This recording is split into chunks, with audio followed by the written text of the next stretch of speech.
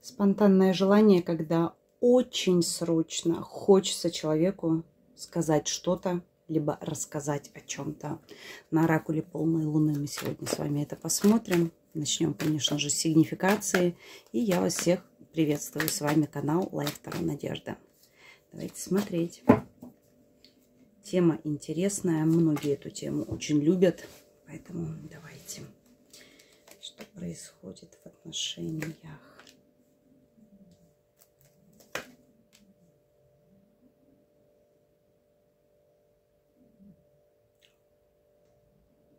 Та игра, которая была, она больше невозможна. Те страсти, которые были между вами, я бы даже сказала, та страсть. Играючи как-то все здесь начиналось. Подкупало все это. Волна здесь эмоций невероятная. Да, здесь для многих уже это постфактум. Есть некие воспоминания, может быть, где-то еще и пробежит пробегут какие-то мурашки а, от воспоминаний. Но все больше и больше хочется уйти и убежать от этих мыслей. Вы в том состоянии, когда говорите, не хочу я больше этого, мне это не нужно. Получила, испытала и больше не надо. Как-то вот досыта. Здесь, кстати, загаданный партнер вас с кем-то обсуждает. Он хочет выяснить, не имели ли вы какие-то меркантильные виды на него. Потому что а, мысли по поводу вам, опять же, они поигрались ли вы с ним? Они использовали ли вы его в каких-то своих собственных интересах? И больше его волнует, что, что вы хотели получить не явился ли он для вас а неким таким вот трофеем, который вы хотели получить. А видя, что не получается, взяли и отказались, потому что здесь вы сейчас в отшельниках, да, какая бы страсть ни была, вы здесь э, ушли. Это тот момент, когда говорят, что она любила так, как будто бы никогда не уйдет, а ушла как будто бы никогда и не любила. И этот вопрос для мужчины очень важен, потому что ну, не бывает так, чтобы такая страсть, такие чувства взяли и прошли. Естественно, самое простое объяснение, значит, она что-то хотела от меня получить, а поняла, что не получит – тут же решила смотать удочки. Говорю, смотать удочки, ну, потому что здесь карта рыбы, да, вот такая идет аналогия. Причем вы его оставили в недоумении. Он вообще не понимает, что это за ситуация и как из этой ситуации выходить. Вот поверьте, здесь он в такой ситуации, как с вами, он никогда не был. И это тупик. Для него это в любом случае грозит трансформации, потому что все новое, которое ранее с нами не случалось, и мы переживаем это, оно отражается на нас. Это новое меняет нас. Да, это опыт, да, это новые какие-то взгляды на жизнь, на ситуацию, на других людей. И в, в его ситуации, и в его случае обязательно здесь произойдут его внутренние изменения. Но здесь больше всего хочется дать ответ на один вопрос. Не использовали ли вы его или не хотели ли вы его использовать в своих собственных корыстных целях? Ну, чтобы он работал, все деньги отдавал вам, или, может быть, у него там есть какое-то там движимое, недвижимое имущество, чтобы этим завладеть и просто хотели, чтобы были там, трудолюбивые руки и светлая голова у вас всегда в распоряжении. Там, принеси, подай, иди подальше, не мешай. Вот этот вопрос для него очень болезненный. Поэтому здесь, э, обсуждая вас, он хочет для себя понять, а вообще что это было. Кто-то, видимо, надоумил его, там, посеял э, сомнения в его голове.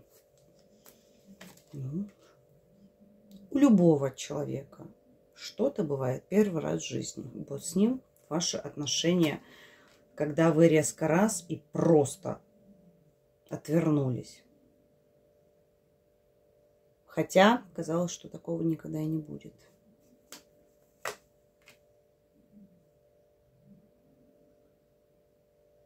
Он прекрасно знает, что у вас сейчас жизнь идет своим чередом, то ли он где-то вас читает, то ли он где-то смотрит. То есть информация о вашей жизни для него не закрыта. Книга у нас здесь распахнутая, открытая. И он э, имеет возможность как-то о вас э, получить э, некоторые сведения. И вот то, что ему удается получить, может быть, сны здесь, кстати, даже снятся.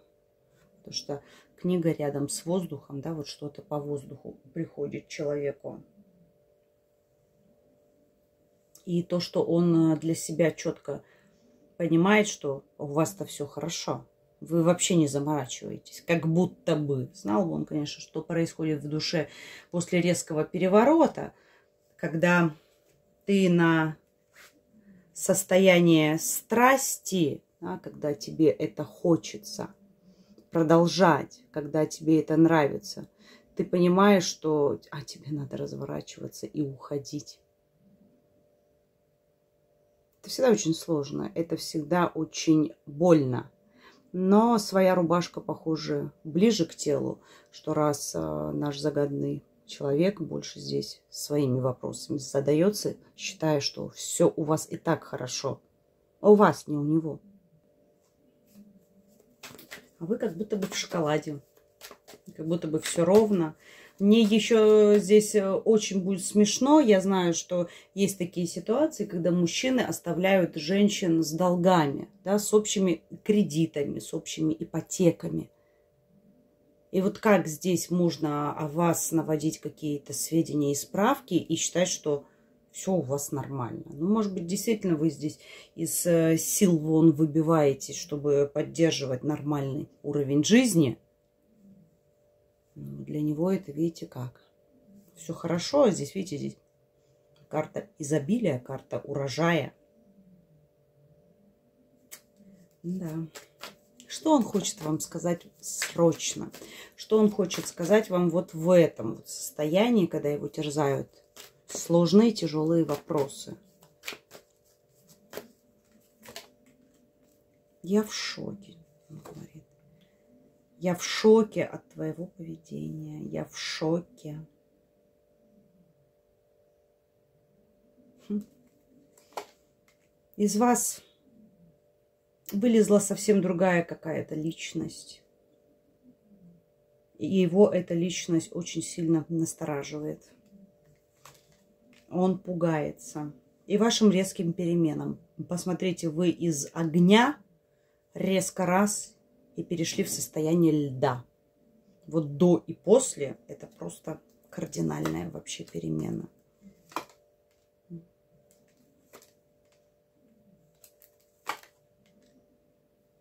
Да, здесь посмотрите, здесь он хотел бы у вас спросить, скажи, пожалуйста, ты действительно имела своей целью сделать что-то хорошее для себя – в ущерб мне.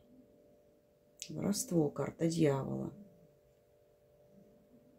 Это, похоже, самый важный вопрос, что, что ты точно не хотела там обобрать меня до нитки, оставить с голой задницей.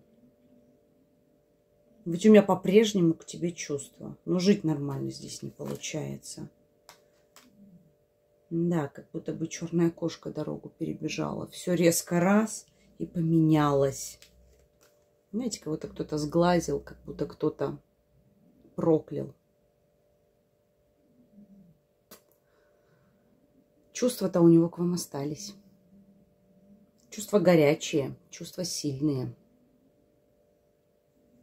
Вот здесь почему хочется так сильно узнать, не использовали ли вы его или не планировали ли вы его использовать.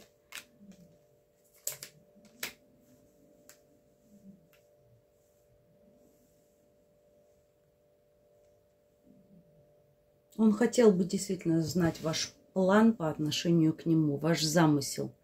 А он сейчас действительно видит, что вы непростая штучка. не три копейки, которые он думал, что все нормально, все в порядке. Он видит, что вы гораздо более умная, нежели ему казалось, гораздо более хитрая, нежели он мог даже предположить. Как будто бы это кара, девочки небесная, для него. Он считает, что вы его наказание. Нет, мой дорогой, это для тебя не наказание.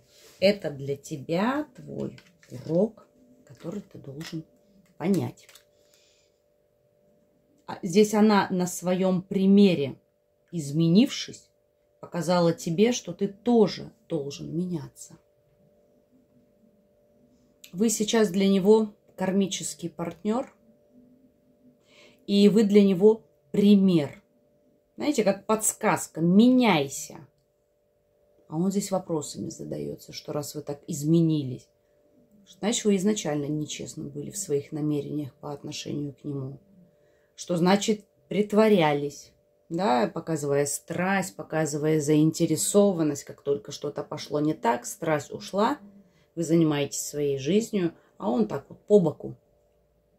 Значит, где-то здесь подвох. Карта ведьмы – э, это всегда карта очень сильных и очень умных женщин. Ведьма, она не может быть дурой.